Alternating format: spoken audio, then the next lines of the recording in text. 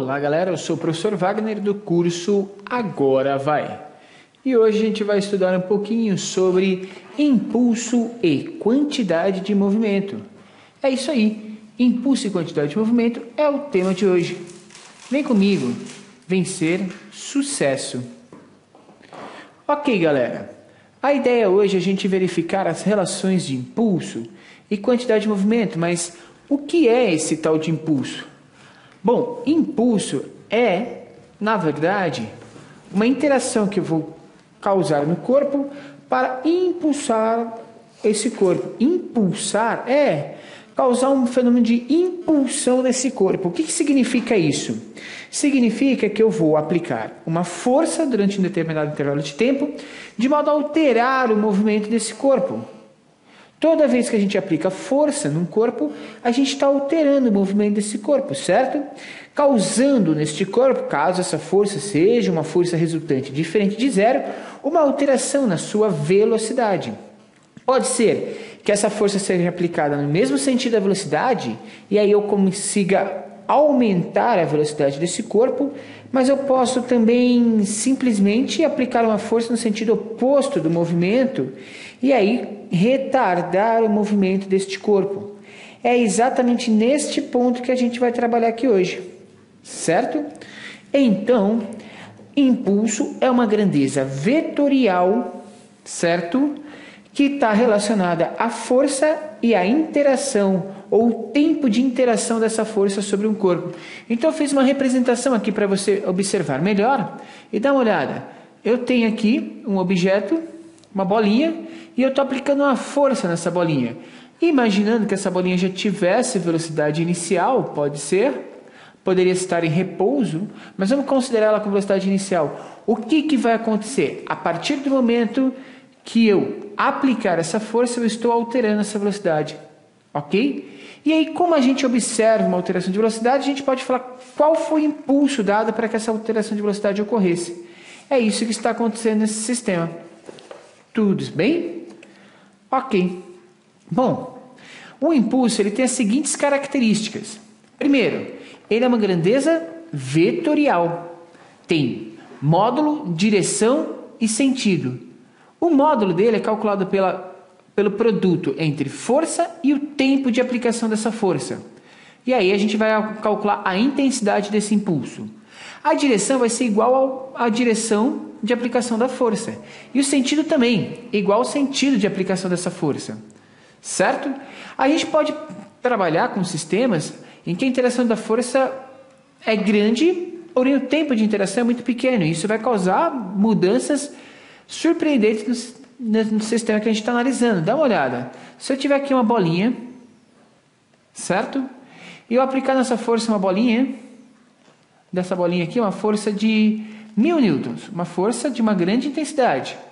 Porém, o intervalo de tempo, ΔT, de aproximadamente 0,2 segundos, certo? O que, que vai acontecer? Bom, o impulso verificado nesse sistema seria um impulso de 1000 newtons de força vezes 0,2 segundos. Isso vai dar um impulso de 200. 200 o quê? Newtons vezes segundos. Vamos guardar essa informação aqui, porque daqui a pouco a gente vai verificar como que isso pode alterar o movimento do corpo, ok? Vamos voltar lá então e verificar as outras qualidades do impulso. Bom, quando a gente calcula impulso a partir da equação, a gente está calculando impulso a partir de uma força constante. Mas nem sempre essa força é constante. E aí a gente pode trabalhar com outras forças.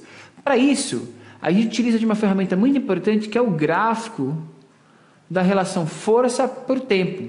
Por que o gráfico? Porque quando a gente calcula a área desse gráfico, dá uma olhada. A gente vai calcular a área desse gráfico.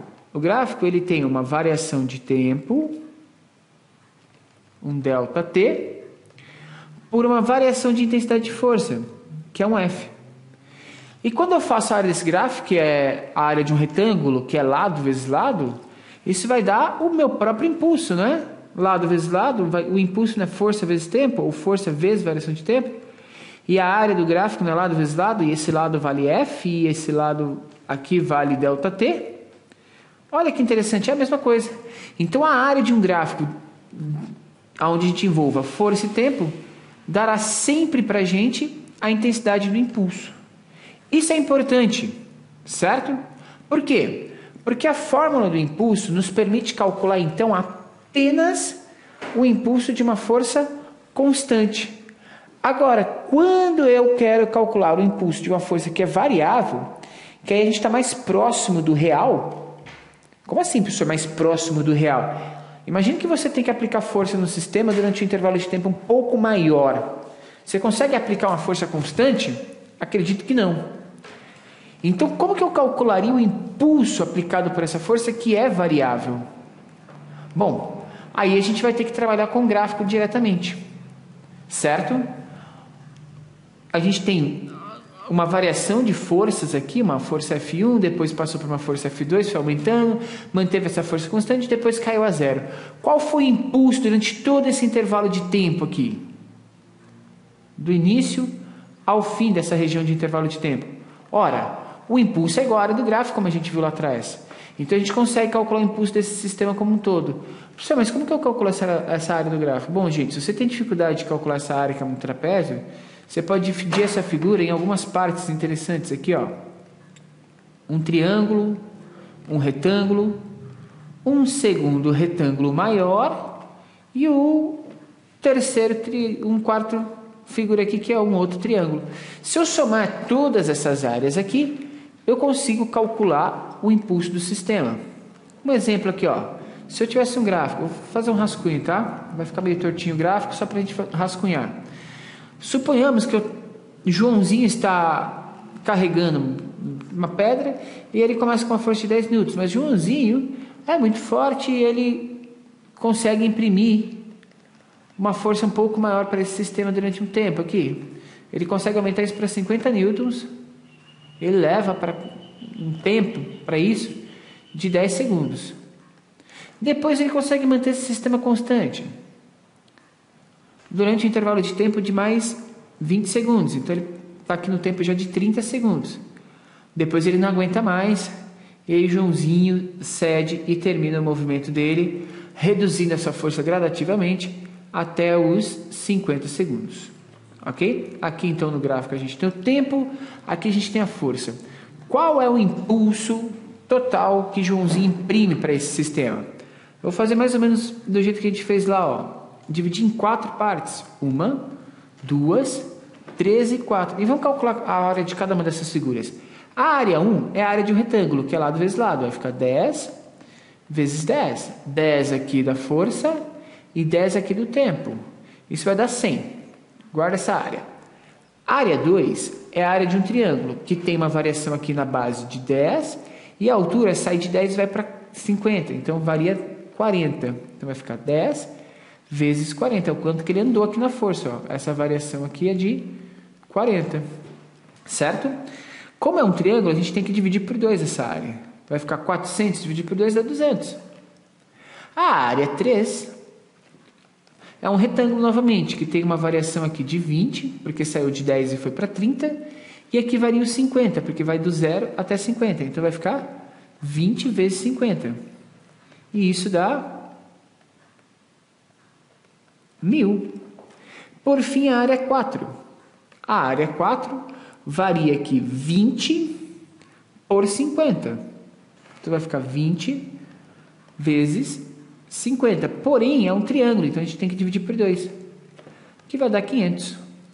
Somando todas essas áreas, a gente tem o um impulso. O impulso, então, é a soma dessas áreas, que vai dar 100 mais 200, mais 1.000 mais 500. Isso vai dar 1.800 newtons vezes segundos de impulso aplicado nesse sistema. Ok? Então, quando a gente está trabalhando com forças variáveis, é muito mais tranquilo a gente fazer o cálculo dessas áreas. Claro que se a gente pegar uma força variável, porém ela varia constantemente, eu posso calcular a média da força simplesmente. Seria mais ou menos assim, ó. Uh, João aplica uma força inicial de 200 newtons. Depois, ele vai aumentando gradativamente essa força até chegar na força final de 1000 newtons. E o intervalo de tempo que João leva aplicando toda essa força é um intervalo de tempo de 40 segundos. Qual o impulso realizado por João? Percebe que a força aumentou gradativamente. Se a gente fosse pensar num gráfico dessa força, seria mais ou menos isso, né? A gente tem aqui 40 segundos, aqui a força inicial, FI, e aqui a força final, FF. E ele atinge essa força final exatamente no intervalo de 40 segundos. Então ele começa daqui e vem até aqui. Ok? Qual que é o impulso realizado por João? Eu poderia calcular a área desse gráfico, mas se ele não me der o gráfico, eu posso fazer simplesmente o impulso calculando a força média. E qual que é a força média? É F inicial mais F final dividido por 2.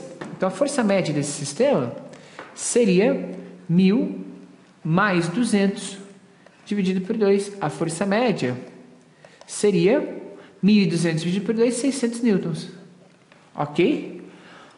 Significa então dizer que o impulso calculado ali seria 600, que é a força média, vezes o tempo que é 40.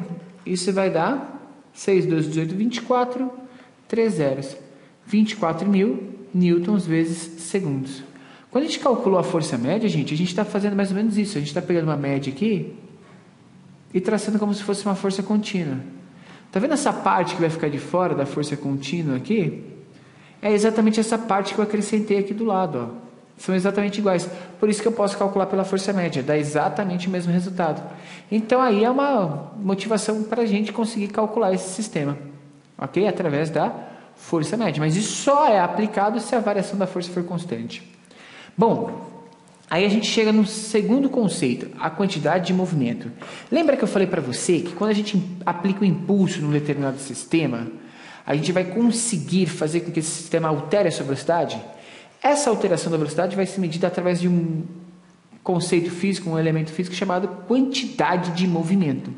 A quantidade de movimento é uma maneira de a gente tentar calcular como é que se move um corpo com uma determinada massa que está a uma certa velocidade ok? É uma maneira de tentar numerar ou quantificar esse sistema. E para isso, a gente vai utilizar um teorema chamado teorema do impulso para achar o que é essa quantidade de movimento. Teorema do impulso. O que é o teorema do impulso? É tentar relacionar o impulso com a quantidade de movimento. Assim, ó, impulso em módulo é força vezes variação de tempo. Eu não vou colocar vetor aqui porque a gente vai analisar em módulo. Impulso é massa vezes aceleração vezes a variação do tempo. O que, que é a aceleração? A aceleração é a variação da velocidade dividida pela variação do tempo. Então eu posso dizer que impulso é massa vezes variação de velocidade dividida pela variação do tempo, que é a aceleração, vezes a variação do tempo. Corta as duas variações de tempo aqui, o que, que a gente vai ter? Que impulso é massa vezes a variação de velocidade. Ou seja, o impulso é um ente físico que eu dou, é a força que eu aplico em um determinado intervalo de tempo, para pegar uma determinada massa, uma matéria física, e alterar sua velocidade. Ok? Massa vezes variação de tempo, de velocidade, a gente pode calcular que é massa vezes velocidade final menos massa vezes velocidade inicial. O que, que é cada um desses termos aqui do sistema? É aquele que a gente chama de quantidade de movimento ou momento de um corpo. Quantidade de movimento, então a gente tem a quantidade de movimento final e a quantidade de movimento inicial. Ou seja, o corpo tinha um movimento, então a gente está quantificando esse movimento. Ele tinha um movimento inicial e agora ele passa a ter o movimento final. Quem causou essa alteração de movimento? O impulso. Entendeu? Ok. Então, a gente consegue calcular a partir daqui quantidade de movimento. Lembra lá do primeiro problema que a gente fez lá em cima? Vamos voltar lá para cima. Passamos aqui pelo gráfico, volta, volta, problema, cadê você? Cadê você? Achamos, está aqui, ó. Lembra que eu falei que tinha sido aplicada uma força de 1000 newtons durante um intervalo de tempo de 0,2 segundos? Vamos supor que a velocidade inicial desse corpo seja zero. Ele estava parado. Qual é a quantidade de movimento final dele, sabendo que o impulso é esse? Lembra que impulso é igual à variação da quantidade de movimento que a gente fez lá embaixo? Ou seja, impulso é massa vezes velocidade final menos massa vezes velocidade inicial. Bom, se a gente conhecer a massa desse corpo, vamos pensar que esse corpo tem 0,2 kg, 200 gramas. Bom, como que a gente calcularia? Acabei de descobrir o impulso aqui, professor, é 200. A gente tinha feito lá no começo da aula. É igual, a massa desse corpo é 0,2. A velocidade final que ele atingiu é o que a gente quer saber. A massa é 0,2 e a velocidade inicial a gente falou que é zero, que ele parte do repouso, está lá em cima anotado. Fazendo isso daqui, isso aqui vai dar zero. E eu posso passar 0,2 dividindo, vai ficar 200 dividido por 0,2 é igual à velocidade final desse corpo. Olha que coisa interessante, gente. A gente consegue calcular qual que foi a velocidade impressa nesse corpo através desse impulso causado. A velocidade final é 200 dividido por 0,2. Essa velocidade final vai ser de 1000 metros por segundo. Ok? Uma velocidade altíssima causada por essa força. Então, o impacto dessa força altera o movimento. Opa, peraí, falei uma palavra muito importante. O impacto, a colisão desse sistema gera uma velocidade impressionante. Lembra de colisão? Bom, a gente pode pensar na colisão de dois veículos, a colisão de uma raquete com uma bolinha, um chute, ou a colisão de um, uma, um martelo num prego, ou a colisão uh, de um, uma bola no guindaste para derrubar uma parede. Nossa, a gente tem vários exemplos que a gente vai utilizar essa ideia de impulso e quantidade de movimento. Ok? Mas para a gente conseguir fechar essa conversa, pelo menos essa primeira conversa sobre esse sistema, a gente precisa falar de sistemas isolados. O que é um sistema isolado? Um sistema isolado é aquele que não vai apresentar interações de caráter externo, ou seja, não tem ação de nenhuma força externa. Quando não existe ação de força externa nesse sistema, a gente fala que o sistema está isolado. E o que, que isso quer dizer? Aí a gente consegue aplicar um princípio muito importante da quantidade de movimento, que é o princípio da conservação da quantidade de movimento. O que é esse princípio? Ele diz que a quantidade de movimento inicial do sistema deve ser igual à quantidade de movimento final deste sistema. Como assim, professor? Ó, suponhamos que a gente tenha uma bolinha e outra bolinha. A primeira bolinha está em movimento, velocidade inicial aqui. E a outra, vamos pensar que uma velocidade inicial primeiro, 10 metros por segundo. E a outra bolinha está em repouso, velocidade inicial, zero. Bolinha A, bolinha B. Certo? Certo, professor. O que, que vai acontecer? Vamos pensar que a massa da bolinha A é 2 kg. Bolinha pesada, hein? A massa da bolinha B é de 1 kg, um pouco mais leve. O que, que vai acontecer se, ela, se a bolinha A permanecer nesse trecho com essa velocidade? Vai ocorrer uma colisão. Vai ter uma colisão. E quando ocorre colisão, parte da energia que existia na bolinha A vai ser transferida para a bolinha B. Ok? E o que, que a gente pode ter certeza? Se a gente tiver livre da ação de forças externas, vai conservar a quantidade de movimento. E se conserva a quantidade de movimento do sistema, eu consigo prever para você qual que vai ser a velocidade após a colisão de cada uma das bolinhas. Ah, é? É sim. Dá uma olhada. Quantidade de movimento inicial tem que ser igual à quantidade de movimento final. Beleza? Beleza. Bom, suponhamos aqui que a primeira bolinha, MA vezes VA, mais MB vezes VB, na verdade a gente tem aqui a quantidade de movimento inicial das duas bolinhas, é igual a MA, não mudou a massa da primeira bolinha, vezes VA linha, vou chamar de VA linha porque é uma nova velocidade, é igual a MB VB linha. A gente tem que ter uma ideia de como que vai acontecer isso, que tipo de colisão vai acontecer. A gente tem vários tipos de colisões. Vamos supor que as duas saem juntas, ok? No final essas duas bolinhas colidem e saem juntas, elas começam a circular juntas. Então, se eu tivesse a situação final, a gente teria isso aqui, duas bolinhas se movendo juntas, com uma velocidade que a gente não conhece. Qual seria essa velocidade? Bom, a gente faria assim. Massa de A, 2 kg. Velocidade inicial de A, 10 metros por segundo. Mais massa de B, 1 kg. Velocidade inicial de B, 0, estava em repouso no início.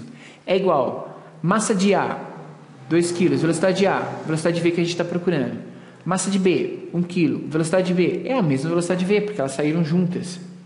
Então isso aqui vai ficar 20 é igual a 3V.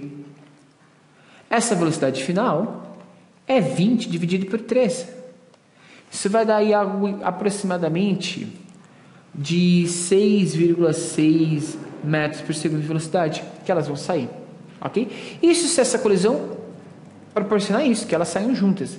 E se elas não saírem juntas, professor? Vamos pensar no mesmo problema, só que após colidir, a A parou e a B adquiriu movimento. Hum, é uma outra situação, hein? Qual será o movimento da B? Bom, gente, como conserva a quantidade de movimento, a quantidade de movimento inicial é igual à quantidade de movimento final, isso permanece no sistema. Então, MA vezes VA mais MB vezes VB é igual a MA vezes VA' mais MB vezes VB'. Certo? MA vezes VA, bom, a massa da primeira era 2 e a velocidade inicial de ar era 10, lá do, primeiro, do começo do exercício. Volta o vídeo um pouquinho que você vai verificar isso. A massa de B é 1 e ele está em repouso no início. A massa de A continua a mesma, 2, só que A parou depois da colisão. Já a B adquiriu velocidade. A gente quer saber que velocidade que é essa. Isso vai ficar 20, porque isso aqui dá zero, é igual, isso aqui dá zero, V vezes 1 é V. Ah lá, já achamos. A velocidade VB após a colisão é de 20 metros por segundo. Certo? Ok. Bom, outra situação, uma terceira situação aqui para a gente poder fechar essa ideia. E se após colidir, a bolinha A bate e volta um pouquinho, com uma velocidade agora de 3 metros por segundo, e a bolinha B eu não sei com que velocidade que ela saiu. Eu quero descobrir essa velocidade. De novo, a quantidade de movimento se conserva. Então, MA vezes VA igual a MB vezes VB que é igual a MA, VA' mais MB, VB'. Que fórmula é essa, professor? A gente acabou de falar, gente. A quantidade de movimento inicial é igual à quantidade de movimento final. Isso sempre vai acontecer, professor? Não! Isso acontece quando o sistema está isolado.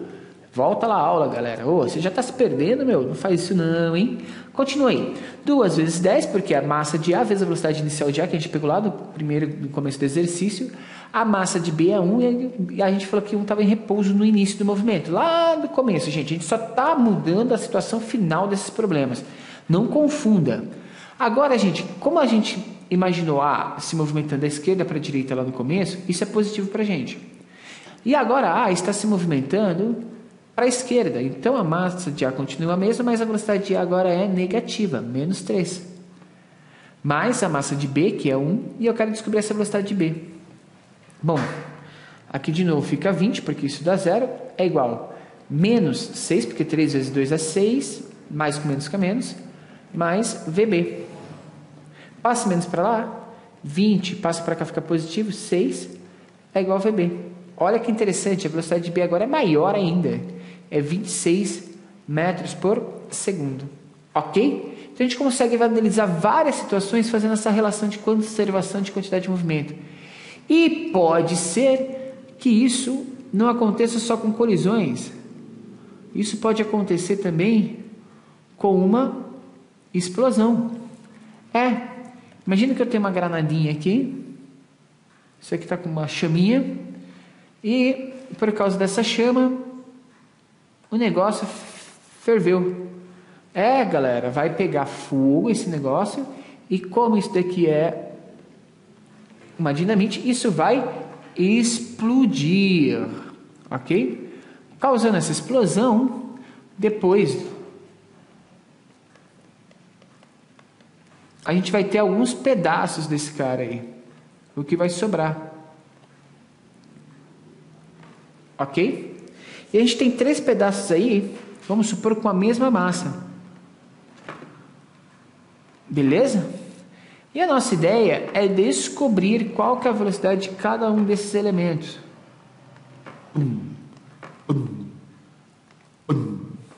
Certo? Bom, como que a gente pode imaginar isso? Bom, imaginar isso, professor, vai ser o seguinte: eu vou ter que pegar a situação antes e a situação depois. Ou antes e após o movimento. Os professores colocam, gostam de escrever após. Não é isso? Dá uma olhada para os riscos que eu estou fazendo. Essa massinha está vindo para a esquerda, essa massinha está vindo para a direita e essa está indo para cima. Vamos supor que a quantidade de movimento inicial desse cara, eu, eu lancei essa granada para cima, joguei para cima, louco, vou deixar na minha mão, sou besta, cara. E tem uma velocidade inicial, ok? Aqui eu vou ter V1, V2 e V3. Ao colocar essas velocidades, eu já numerei, já dei o nome para essas esferas: esfera 1, esfera 2 e esfera 3. Certo? Vamos pensar no seguinte: a massa inicialmente é de 9 kg. E a velocidade inicial com que eu joguei esse cara é de 30 metros por segundo. Beleza? Lembra que eu falei que as três esferinhas têm a mesma massa? Então, se ela dividir em três partes, cada uma dessas massas vai ser de 3 kg. 3 kg, 3 kg e 3 kg. E eu quero saber qual que é a velocidade dessas partículas no final. Isso está fácil, cara, porque a única diferença agora em relação ao outro modelo é que agora a gente vai considerar essas partículas se movimentando vetorialmente. É, Dá uma olhada aqui, gente, ó. Essa partícula tá, vai ter uma velocidade de V2 e V3. E V2 e V3 são iguais em módulo. Só que uma está indo para a esquerda e a outra está indo para a direita. Vetores de mesma intensidade e sentidos opostos se anulam. Então, a velocidade vetorial aqui é zero. Ok? Então, nesse sistema vai sobrar só uma velocidade no final vetorialmente, que é a velocidade de V1, certo? Então isso fica tranquilo, porque vetorialmente a quantidade de movimento inicial, lembrando que a quantidade de movimento é um vetor, é igual à quantidade de movimento final, vetorialmente. E vetorialmente eu tenho uma massa e uma velocidade vetorial. Essa massa é de 9 kg e eu tenho uma velocidade vetorial de 30 metros por segundo e ela está para cima. Eu vou fazer um vetorzinho aqui representando que ela está para cima. No final, vai sobrar o quê? Vai sobrar todas as massas, mas aquelas duas velocidades se anulam, né, vetorialmente. E eu vou ter então só a terceira massa, a massa 1 lá na verdade, e a sua velocidade. E olha que interessante, ela também está para cima. O que significa que a quantidade de movimento se conservou. Não se conserva só em números, mas se conserva também na direção e sentido. E eu quero descobrir qual que é essa velocidade. Olha que interessante. 9 vezes 30. 30 vezes 9. 9, 18, 27 vai dar 270. É igual a 3V. Bom, 270 dividido por 3 é igual a V. Quanto que é essa velocidade? Essa velocidade é de 90 metros por segundo. E ela sobra para cima. Então significa dizer no final que esse cara está com 90 metros por segundo para cima, esse cara está com 90 metros por segundo para a direita e esse cara está com 90 metros por segundo para a esquerda, certo? Só que como elas estão em sentidos opostos, elas se anularam. É assim que a gente resolveria esse problema. Beleza? Explodiu, mas não explodiu com a gente. Beleza, galera? É isso que eu tinha para falar com vocês. Essa é uma aula inicial sobre esse assunto. Esse é o curso Agora Vai. Gente, não deixe de se inscrever no meu canal ok? A sua presença aqui é muito importante. Se você tem prova, se você está com dificuldade em algum assunto, mande aí um comentário para a gente, professor, estou precisando de uma ajuda em tal sistema, que a gente responde para você, ok, gente? Valeu, até a próxima aula.